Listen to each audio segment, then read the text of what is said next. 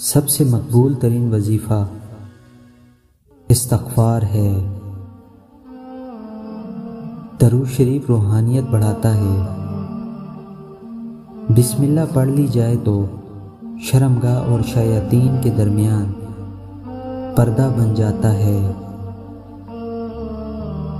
एक अनार खाने से दिल चालीस दिन मुनवर रहता है।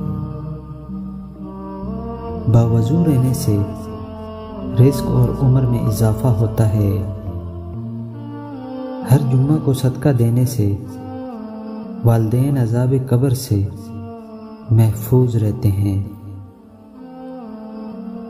जिस घर में मोहम्मद नाम का बच्चा होगा, उस घर में हमेशा खैर और बरकत रहेगी।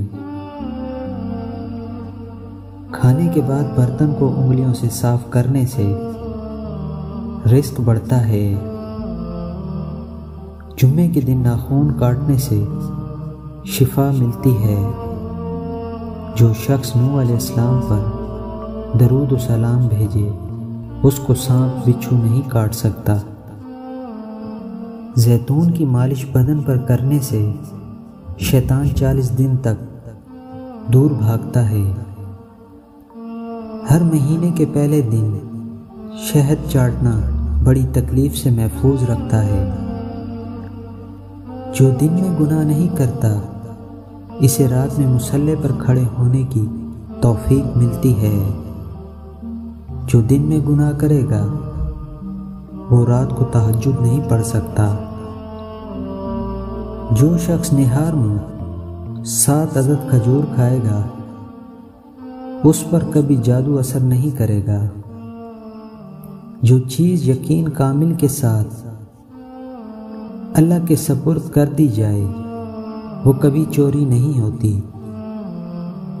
पाँव सुन हो जाए तो दरूद पाक पढ़ने से फ़ौरन ख़त्म हो जाती है। खड़े होकर शलवार पहनना इंसान को संग दिल बनाता है। वालदेन को मुस्कुराकर देखने से नज़र में इजाफा होता है। आशूरा के रोज़ खाना खिलाने से साल भर का रिस्क अल्लाह पाक मुफ़्त देता है। जो आफियत की दुआ मांगेगा, वह हमेशा पुरसकून रहेगा। वबा के दिनों में दरू शरीफ पढ़ने वाला वबा से महफूज रहता है। सांप दांतों से डसता है और इंसान आँखों से इसलिए हमेशा अपनी आँखों की हिफाजत करें। जो औरत पर बुरी नज़र डालता है, इल्म का नूर इससे छीन लिया जाता है।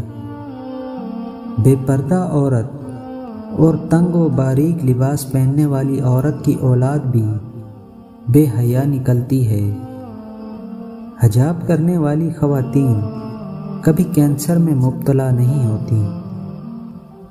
तेज़ खुशबू लगाने वाली औरत डबल गुनाह की मुस्तक होती है, क्योंकि इसने मर्दों को अपनी तरफ़ मुतवजा करने का सामान पैदा कर दिया। सुन्नत नबी के तरीके पर सोने वाला कभी हार्ट अटैक का शिकार नहीं होगा। खड़े होकर पेशाब करने से इंसान जल्दी मकरूज हो जाता है। जो कोई सच्चे दिल से शहादत की मौत मांगेगा, अल्लाह उसे शहादत की मौत ही अता करेगा। चाहे वो बिस्तर पर ही क्यों ना हो। जो शख्स हर हिचकी पर कलमा तैयबा पढ़ेगा, अल्लाह इसे मौत के वक्त कलमा नसीब करेगा।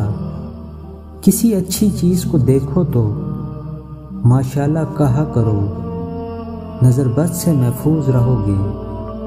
जिसका दिल सख्त हो, वो मसाकीन के सर पर हाथ फेरा करे और यतीम को खाना खिलाए। खीरा और खजूर एक साथ खाने से दुबले पतले लोग सेहतमंद हो जाते हैं। अल्लाह का नूर अल्लाह के रास्ते में मिलता है। अल्लाह के रास्ते में एक रुपये खर्च करोगे तो अल्लाह दस रुपये वापस कर देता है। वजीफ़ों में कामयाबी चाहते हो तो हंसना बोलना और खाना कम कर दो।